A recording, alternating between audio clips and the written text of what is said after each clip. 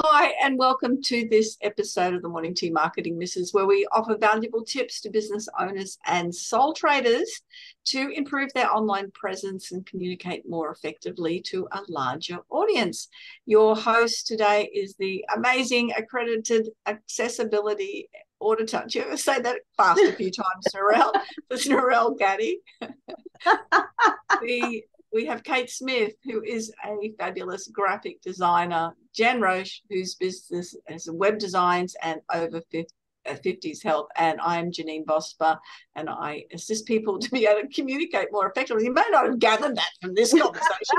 that is what I normally do, but have the confidence and belief themselves to be able to step up to speak out. And today we've been talking about the last few weeks, we've been talking about product development and it's Kate's turn to share her expertise on product development. Hey, hey, all. Hey, Kate. Hey, everyone. Yeah, hey, I wanted to, hey, Narelle, I wanted to take everyone through how I develop products for my clients. So often Ooh. people will come to me and they'll need a banner or a brochure or a flyer, something like this. So, not a big branding product or project, but something they need to order and an actual product they need to have in their hand. So I just want to take you through that process quickly. So for each product, I ask a few different questions. One is, what is the purpose of this product? Another is, what is its environment? Who are the audience? What's the content? Because we need to put that on there somewhere. And what's your call to action? What do you want people to do? What what's the ideal thing that they will do when they um, pick up this item. So I had a client the other day come and they are going to a auction in a few weeks. So we've got they need a pull-up banner, they've got some wall panels for the booth that they've got at the auction, they need an A5 flyer, and they've also got a half-page magazine ad in the um, the booklet for the auction. So we went through and asked those questions for each object. So if we start with a pull-up banner, we had to think about what's the purpose of this? And so they're a buyer's agent. And they said, well, look, not many people there actually will know what a buyer's agent is. Um, so we need it to draw attention because it's a pull-up banner, it's large, it's hopefully there to draw attention, but we also need to educate a little bit. So the purpose was to get attention and educate the crowd so that they don't think they're just talking to another real estate agent, for example. This is a slightly different profession. Um, the environment. So, where exactly is this going to stand? How is it going to sit? What parts of it are going to be visible? Is it behind a table or is it out in the open? Is it in front of the stand? And that will affect quite a few things and what we put on it and how we design the layout. Mm. And we thought about the audience. And so they said that's a mix of mums and dads, young families and older families as well, retirees. And they said three quarters won't know what a buyer's agent is. So once again, we're like back to that education piece. Mm-hmm. They gave me a bit of content. That was their messaging and what we wanted to express. And then we talked about the call to action. And so they actually came up with this great idea as we were brainstorming for a, a, prize and to advertise the prize because really what the object of their um, going to this auction was to get contacts and find more people to educate and talk to about buyers agents and whether that is useful to that person. So we got our call to action to enter the competition. So if you work this way with anything you're going to make, whether that be a product for your business or some marketing materials like this, you can kind of get a more holistic view of what you need to do to execute it. Then the next thing I do is ask them for the deadline. So this is an event; it has a hard deadline. Um, I then look at what the time frame is to get such things printed, and then we work backwards from there when we need the different mm-hmm. briefs. So if there's a few people in your organization that need to see the different iterations of this, think about that as well. Which briefs you're going to get to whom when, and when you need final cutoff, final approval, so that you can send this to a printer, have your things on time. So this is maybe a bit more of a scaled back version of product development, but I think it's it's a nice bare bones way to get the bare minimum things you need to start this process of developing a product. yeah, that's a really good point. Um, having the date and working back. I mean, obviously, that with web design, we we try and do that. You know, work within a certain time frame, or, mm. or when they want the thing live and whatever, mm-hmm. and work. Um, because um, if you're just going to, you know, just throwing it out there, not really having a hard date to work to, things can drag on. they really can. End costing you stack more money because you haven't stuck to time frames. Yeah, that's, that's a really good one, Kate. Yeah, that's a good one. Mm. Also, liked you guys spoke a lot about audience in your your um product development sessions this month. Um, mm. Narelle, like thinking about if you have any chance that, well, we all have the chance that there's somebody with different accessibility needs are going to be looking at our products. You need to really think about how that affects what you're building or designing. And Jan, like all your clientele are over 50, says it in the name. So there's mm. special mm. considerations for people in that audience.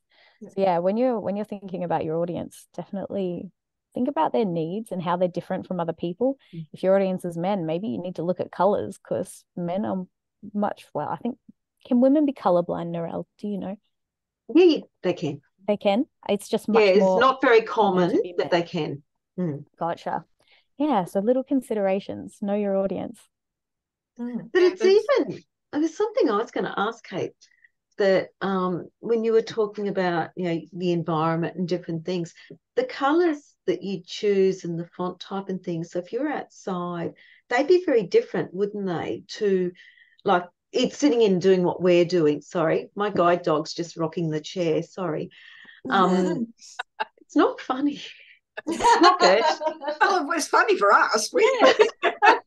Next minute, he'll end up sitting on my lap, and he's a big boy. Well, you've all seen how big the boy is. But oh, stop it, Rocket. Whoops, hang on. But the color, the color choices that you'd have to pick, and and like everything that that environment part, I never really thought about it, but that is such a huge thing in it. Whether it's going to be indoors, outdoors, type of lighting. Mm-hmm. How far away are the that. people going to be? So if, yeah. if you've got signage, especially Mm-hmm. depending how far away the audience will be from it or where you need it to be seen from is going to dictate a lot of your font size, your imagery mm, size. Yeah. Yeah. And sticking to your branding colors as well. Oh, yeah. To go yeah. too far from that. Yeah. No. You want to, these are the kind of products I'm talking about where you already have an existing brand. If I was doing a branding project, this mm-hmm. there would be a lot more questions involved a lot more steps yeah. a yeah. lot more to think about but once you've got an existing brand and you just need a new product that's going to be out in the world somewhere these things purpose environment audience content and your call to action mm-hmm. those are the things to consider and then the deadline's just okay. logistics and you that's not be... just with graphic art stuff that that process could be yeah. adapted to nearly everything that you would a product that you would design or product you want to get out Mm. Definitely. Yeah. yeah, especially like you were saying, Janeen, you've got your post-it notes that you get lots of different ideas. So perhaps mm. you've got an overarching sort of course or product that you have, and then you've got these smaller courses underneath. If you just look at those four options or yeah, yeah. questions, what and that's one of the things when I teach pitching. What is the purpose? What's mm-hmm. the purpose of, of your product, or what's the purpose of doing this pitch to this audience? Yeah, and usually often, oh, I don't know, it's just what I do. Well, it's got to have, you've got to change it up. That's why those scripts don't work.